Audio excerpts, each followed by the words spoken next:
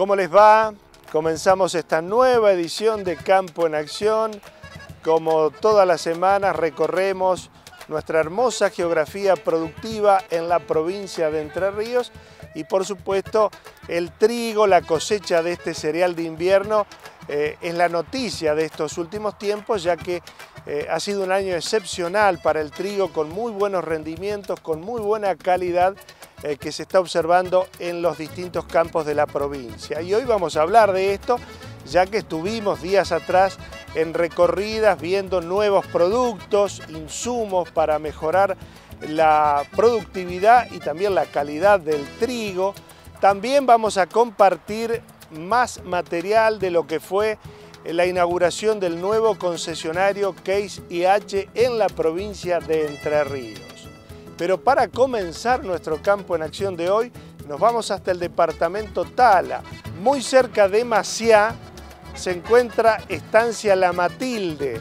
Hasta allí fueron productores de la Bradford de la Regional Litoral para desarrollar su segundo encuentro. Estuvimos charlando con Joaquín Mancioni y Esteban Villasante, coordinadores de este encuentro que tiene como objetivo seguir difundiendo las bondades de la Braford en la región litoral de la Argentina.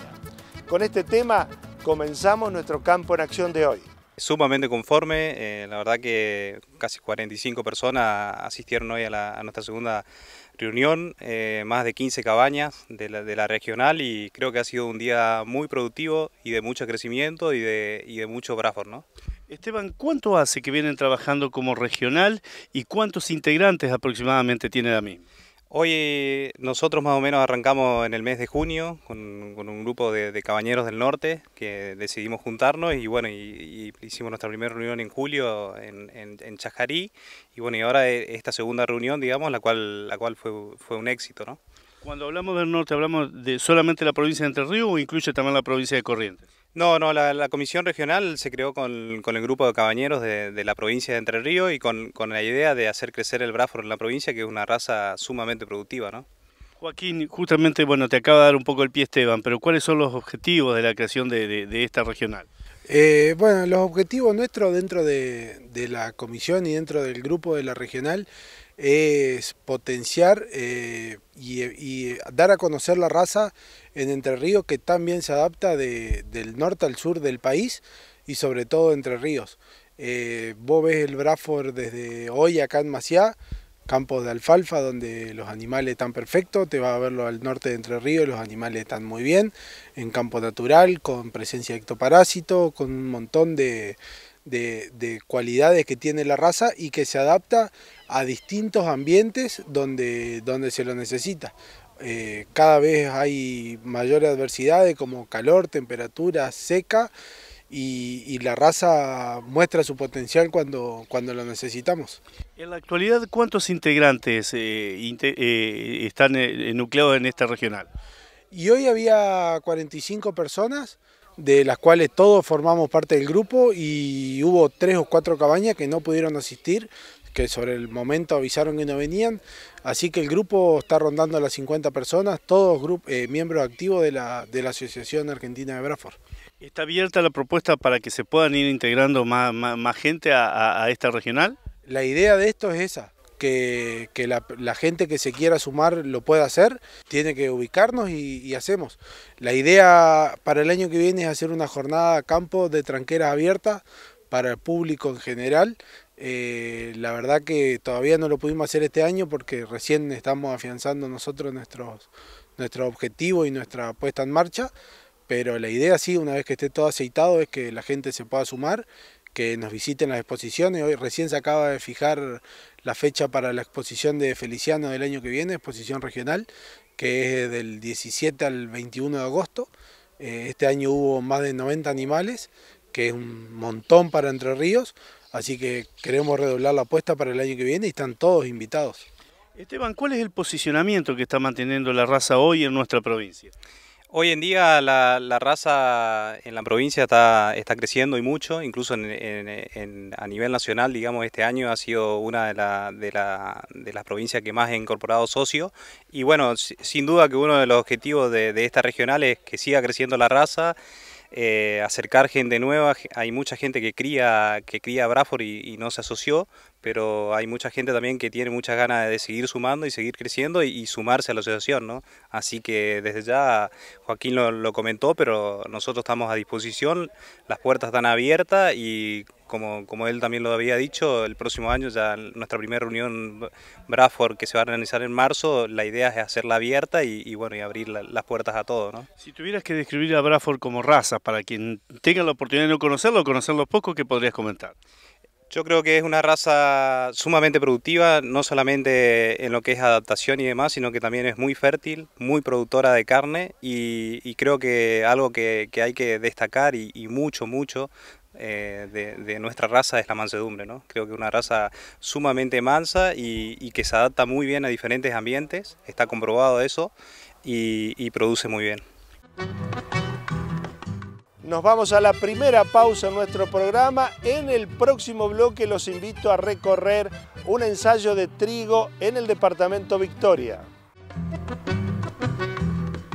El ingeniero Emanuel Rodríguez Randa es responsable de desarrollo de Bioceres, importante empresa argentina de biotecnología. Con él charlamos en el marco del encuentro que se organizó en la estancia La Querencia, en el departamento Victoria. Estamos hoy visitando y recorriendo un ensayo de, de, trigo, sembrado bien temprano, el 28 de mayo, en la localidad de Victoria, con nuestro distribuidor granero.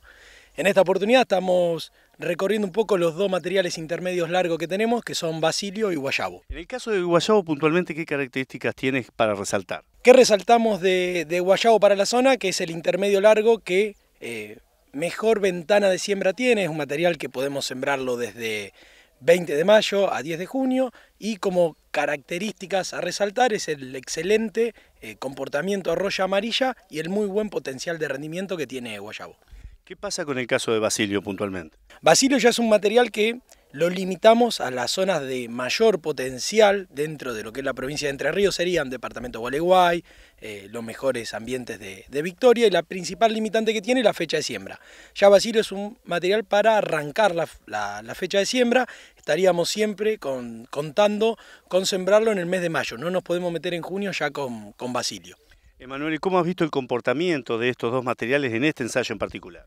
No, bueno, en este ensayo en particular, como te decía, fue sembrado el 28 de mayo, entonces se fueron beneficiados ambos, tanto Basilio como Guayabo, y además con una excelente nutrición, y eso hizo que, bueno, los materiales puedan expresar su potencial, así que vamos a estar viendo un buen rendimiento en los, en los dos materiales. ¿Y en materia sanitaria cómo se, cómo se comportaron? Muy bien, los dos mostraron siempre un excelente comportamiento de arroya amarilla. Basilio, que tiene unos años más, lo seguimos viendo y, en nuestras mediciones que hacemos de desarrollo lo encontramos un excelente comportamiento a arroya amarilla. Si bien es muy amplio el portfolio que, tiene Bioceres en cuanto a trigo, hoy con la representación de estos materiales aquí, también me imagino que a las zonas debe estar trabajando en algunos experimentales, ¿no? Pronto salir al mercado. Exactamente, lo que estamos buscando y trabajando es para salir con una variedad la campaña siguiente, que es unos días más corto que Guayabo. Lo que buscamos es ampliar esa ventana de siembra hasta llegar a Jingo, ¿no? Que Jingo ya es el material más corto y que lo podemos sembrar a partir del 20-25 de, de, junio, ¿no? Emma, y más allá del resultado que puedas obtener en los ensayos en particulares, donde la tecnología aplicada por ahí se resalta un poco más, ¿cómo has visto el comportamiento de estos materiales tranqueras adentro, los campos de los productores? Bueno, a nivel lote, como te decía, Basilio está muy limitado en la zona, sin embargo, en los lotes eh, de productor que pudimos eh, recorrer acá en la zona de Victoria, lo vimos muy bien, sembrado siempre entre el 20 y, el 28 de, mayo. Y ya Guayabo, cuando ya nos empezamos a meter más al centro de la provincia de Entre Ríos, la verdad que también lo, lo venimos viendo muy, muy bien, ¿no? Isidro Silveira es responsable del programa de desarrollo de HB4 esta innovación que posiciona a la Argentina con materiales de trigo en el contexto internacional. El programa de HB4 es un, programa de producción de semilla de identidad preservada en donde importa no solamente la genética, digamos, de, del germoplasma, eh, también la característica HB4 y después un tratamiento especial de semilla con cepas específicas para cada variedad. ¿Cuánto hace que está vigente Generación HB4 y cómo nace la idea de llevarla adelante? Y Generación HB4 nace a partir obviamente de, lo que es el, gen HB4 que se introdujo en las variedades de, de, bioseres y hará unos dos años ya que se está produciendo a nivel de productor, eh, testeando la tecnología y validándola en los distintos sitios. Si tuviéramos que hablar de objetivos a largo plazo del programa, ¿qué podríamos enumerar? Y el objetivo del programa es eh, tratar de que em, em, minimizar la huella de carbono a través de mayor producción con la menor cantidad de milímetros eh, en, los distintos sitios comparado a las variedades convencionales. ¿Cómo ha sido la aceptación por parte de productores y técnicos, que son los destinatarios finales quizás de este programa? Y los productores siempre se muestran bastante optimistas. Eh, la siembra suele ser un momento importante en donde todo lo que es la, emergencia suele sacar una diferencia por todo lo que es el tratamiento de semilla, que es eh, a través de lo que es Rizobacter bueno, y Bioceres. Y después eh, se traduce, se termina traduciendo en el rinde, sobre todo en los lugares donde la sequía pega más. ¿no? Es un programa muy joven, si se quiere, ¿tiene mucho campo de desarrollo de aquí al futuro? Sí, tenemos bastante, bastante para hacer porque las líneas donde se trabaja son, son amplias, desde la genética hasta todo lo que es eh, tratamiento de semillas y validaciones en distintos lugares. Así que la verdad que el, trabajo que hay por delante es muy, muy grande. Y seguimos en el departamento Victoria, estuvimos en la inauguración del concesionario Case IH del grupo Criolani. Charlamos con Sergio Vera, gerente comercial de la empresa multinacional. Para nosotros es realmente muy importante eh, también lo que significa, porque en un momento que hace saliendo de una pandemia, venimos de un momento realmente difícil y no es el único concesionario que está invirtiendo en la marca. Hemos eh, tenido ya algunos en estos últimos meses y realmente quiere decir que más allá de ver el día a día, los concesionarios de nuestra marca, la gran mayoría está viendo un crecimiento futuro. El sector agrícola, como todos saben, desde hace varias décadas viene con una tendencia de crecimiento. Entonces, esa tendencia hace que pueda haber un año de sequía, un año de inundación, depende de las regiones, pero en general la tendencia es de cada vez mayor tonelaje. Entonces, eh, no se piensa como se inaugura solamente en el cortísimo plazo, se piensa en un futuro eh, de dos años, tres años, cinco y más. Y en particular, como vos decías, eh, un concesionario de la relevancia que tiene Criolani es importante ya está presente en tres provincias, eso también quiere decir eh, mucho desde el punto de vista de que para crecer uno tiene que estar consolidado. Y ellos han podido consolidar todos los servicios eh, desde el punto de vista del cliente, eh, la experiencia del cliente que tienen con, con Criolani y con otros tantos concesionarios que han desarrollado una preferencia por atender bien eh, y desde una manera muy profesional y muy seria a todos los clientes, eso quiere decir que le da espalda para poder proponernos un crecimiento y tener un crecimiento en la realidad. Ellos hoy eh, lo están demostrando con esta inauguración y realmente esta provincia también es muy importante. Entonces eh, nosotros estamos muy conformes, muy contentos y como dije anteriormente, el éxito nunca está asegurado, pero sumado a la experiencia que ellos tienen, al producto, que el producto obviamente es parte del éxito, y sumado al esfuerzo que siempre la marca y el concesionario hacen en conjunto para satisfacer de la mejor manera al cliente, no puede irles mal. Sergio, ¿cómo se da esa conjunción puntualmente de la compañía a los distribuidores que tienen apostado a lo largo y a lo ancho del país? Generalmente tiene mucho que ver con las necesidades de los clientes tiene que ver, hay estudios principalmente en cuanto a la capacidad de cada región de absorber determinado tipo y determinados segmentos de producto. Entonces en base a eso eh, se, hace la distribución. Hay épocas donde hay mucho mayor demanda que oferta de producto, estamos viviendo ese, ese momento, y hay otras épocas donde el mercado realmente es agresivo porque el cliente realmente puede, tiene muchas opciones de elegir entre una marca y otra.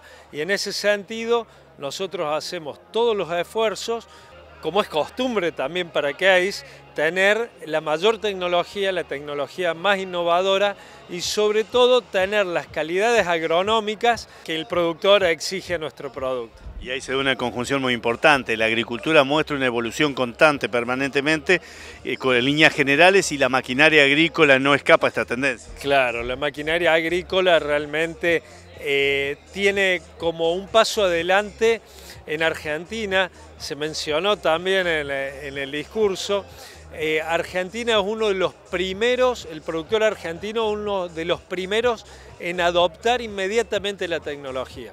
Y así como hablamos de profesionalismo del concesionario, cabe destacar que hay un profesionalismo cada vez más marcado de los productores. Antes era de los productores más grandes, Hoy los productores medianos y pequeños también tienen un profesionalismo muy especial y muy avanzado que hace que ellos también sean los primeros en innovar y en tener un producto que les brinda un mejor tratamiento del grano, una mayor rentabilidad, entonces ellos eh, hacen ese cálculo, ya son profesionales en hacer ese cálculo y eso realmente beneficia a las empresas que hacen un foco y tienen un ADN especial en la tecnología como es. Sergio, por último, ¿cómo es el posicionamiento que tiene hoy KCH en todo el globo y en Argentina en particular? Bueno, eh, justamente la tecnología es uno de los factores primordiales. Eh, nosotros tenemos un concepto que habla del agronomic design. Ya cada producto es desarrollado con la experiencia que CASE, por eso hiciste muy bien en preguntar a nivel local, Argentina y a nivel mundial, porque eh, eh, se, eh, se nutre de todo lo que va pasando en el mundo, toda la experiencia que se van recogiendo en los distintos mercados para el desarrollo de los nuevos productos. Entonces, desde el punto de vista agronómico, tiene un paso adelante de todas las otras marcas y en definitiva eso se brinda nuevamente al cliente y es un círculo virtuoso que al tener más tecnología y la difusión que tiene la marca, porque obviamente es una de las marcas líderes, entonces esa difusión hace que tenga un feedback, una, una respuesta y realmente somos todo oídos para los productores para decirle esto eh, se podría mejorar de determinada manera o esto es un éxito, potencienlo y, y ese tipo de argumento las fábricas de todo el mundo lo absorben para el desarrollo de futuros productos. Nos vamos a la última pausa en nuestro programa. En el tramo final seguimos hablando de agricultura. También en el departamento Victoria estuvimos participando de un encuentro donde se presentaron nuevos insumos fitosanitarios para controlar lo que tiene que ver la presencia de enfermedades en trigo. Charlamos con el ingeniero Mauro Balsa. Siempre son enfermedades que siempre las tenemos en los lotes, sabemos que tienen características distintas, eh, lo que son manchas son enfermedades necrotróficas que bueno, permanecen en el rastrojo y, bueno, por lo tanto, normalmente cuando hay rotaciones con, mayor frecuencia de trigo, bueno, hay, más chance de tener eh, mayores incidencias y de lo que es eh, mancha, ¿no? lo que es mancha amarilla principalmente. En cambio, en lo que es rollas, em, la dispersión tiene que ver con las esporas es por viento, entonces, bueno, tiene que ver más con em, lo que siempre se menciona, que es el triángulo de, de la enfermedad, que, bueno, eh, tener en cuenta la variedad, la susceptibilidad que tiene la variedad, las condiciones ambientales predisponentes y, bueno, por supuesto lo que es el, patógeno, que como, mencionaba, por la forma de dispersión, tiene una cobertura regional eh, importante. Dentro de lo que son los tratamientos, eh, los tratamientos químicos, es muy común de hace varios años hasta parte los tratamientos con triazoles, digamos. Las carboxamidas han venido ganando terreno en los últimos, en los últimos tiempos, ¿no? Exactamente, lo que es carboxamidas incluyen un modo de acción distinto de fungicidas, lo cual es importante justamente para lo que es el manejo antirresistencia de, de las enfermedades. Y bueno, realmente en las últimas campañas, por supuesto que han, han aparecido distintas carboxamidas. Nosotros desde Sumitomo en particular en esta campaña estamos haciendo el prelanzamiento de una carboxamida que se llama Indiflin, que está dentro de lo que es el producto Scalia Max, que está en mezcla también con un triazol. Y bueno, lo que son carboxamidas sabemos que tienen características diferenciales respecto de, otros fungicidas, como bien mencionabas vos, eh, lo que son triazoles es otro modo de acción, actúan de otra forma en, los patógenos, y en particular lo que vemos con, una carboxamida como es eh, Indiflin es, eh, tiene algunas características fungicidas que son muy destacadas, en particular en lo que es en sus características, por ejemplo, en lo que tiene que ver con sistemia, con movimiento en hojas, desde el lugar donde se aplica hacia la punta, eh, la mismo también en la, en la, acción traslaminar que presenta. Eh, y bueno, por supuesto que lo que nosotros destacamos es su alta actividad en lo que es eh, patógenos que provocan las rollas, o sea, lo, que tiene que ver con los grupos de, patógenos entre los que se incluyen las rollas, son de la actividad más importante que presenta Indiflin y de ahí justamente por eso la importancia que, que vemos en, como futuro producto para el cultivo de trigo. ¿Se podría hablar de, de Scalia como una evolución dentro de los fungicidas con esta aparición de esta nueva molécula? Sí, nosotros estamos planteando que realmente vemos eh, que el producto justamente aplicado de acuerdo a, justamente a cuando se requiera por condiciones y por situación de incidencia y severidad, eh, ubicado dentro del periodo crítico del cultivo, donde se genera justamente el rendimiento, vemos que el control de enfermedades que brinda, que son las principales de lo que es el trigo, lo que son roya amarilla, roya anaranjada, justamente brinda un plus eh, también de respuesta en, el rendimiento, y eso es lo que vemos en las últimas campañas, en la participación en distintas redes, vemos que bueno, hay una respuesta en productividad bastante importante, eh, y ahí decimos, bueno, justamente lo que nosotros estamos viendo es eh, una importancia que pueda tener acá futuro esta molécula para el manejo de enfermedades en el cultivo. La aparición de nuevas moléculas para cualquier principio activo indudablemente es algo muy costoso y que lleva muchísimos años de investigación. En el caso de Subitomo, ¿cuánto hace que viene trabajando lo mismo? Es una buena pregunta porque, bueno, como bien, bien decís, la realidad es que como empresa de investigación y desarrollo, la realidad es que tiene tan, muchas fases ¿no? el desarrollo de una molécula, ¿no? desde que se detecta eh, a nivel laboratorio cuáles son las distintas moléculas, se desarrolla, eh, luego se lleva eso a campo, es decir que bueno, son muchos, muchas etapas. Em, la realidad es que esta molécula en particular eh, tiene, va a ser importante también a nivel regional, porque tiene solamente, bueno, en lo que es en Argentina, está planteada por lo que son enfermedades en trigo, pero en lo que es eh, Brasil y, Paraguay, por ejemplo, va a tener un uso muy importante en lo que es en asiática de la soja, ¿no? Entonces, em, también te lo comentaba porque, bueno, justamente lo que es el desarrollo de la molécula, quizás desde, planteada desde esa enfermedad eh, problemática que es lo que es roya asiática, luego también se hace el desarrollo en otras enfermedades, en particular en lo que es Argentina en trigo, y la realidad es que desde las etapas de investigación y desarrollo, que son muchas campañas en, en los que se va evaluando las enfermedades, el nivel de control, dosis-respuesta, son muchos años hasta que sale finalmente eh, el registro, y lo que es también una parte ya precomercial en donde bueno, vamos testeando la, molécula y el fungicida en sí, lo vamos evaluando justamente con también eh, lo que existe actualmente en el mercado. ¿no? Entonces bueno, se va sumando, son mucha cantidad de ensayos, eh, la realidad que lo probamos en muchos sitios a nivel de bueno, las distintas regiones del país, por supuesto que también acá lo que es en Enterrío, participando en las, principales redes de ensayos, haciendo ensayos propios. Este prelanzamiento comercial que se va a hacer en nuestro país se está haciendo por estos días, digamos, básicamente. ¿La formulación está destinada puntualmente a qué, de qué forma? Bueno, sí, eh, específicamente lo que es Scalia Max es un fungicida de uso foliar, eh, es una suspensión concentrada, eh, que bueno, la dosis de uso recomendada son 700 centímetros cúbicos por hectárea, la recomendación es que vaya junto con un, un coadyuvante para, favorecer justamente también lo que es la calidad de aplicación.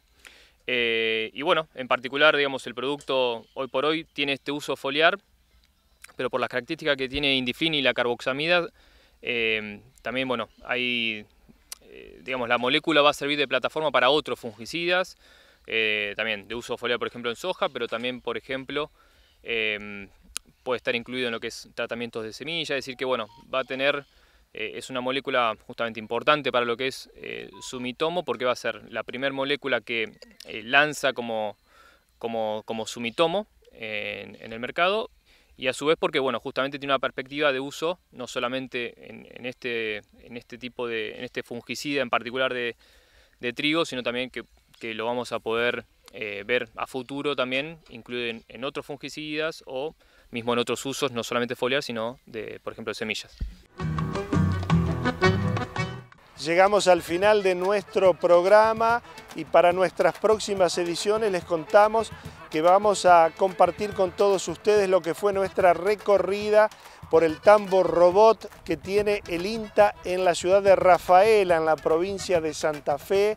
Seguiremos conociendo el trabajo que hace la gente de la regional litoral de la Brafor en la provincia de Entre Ríos, jornadas forrajeras y también, por supuesto, todo aquello que tiene que ver con las cadenas agroalimentarias de nuestra región.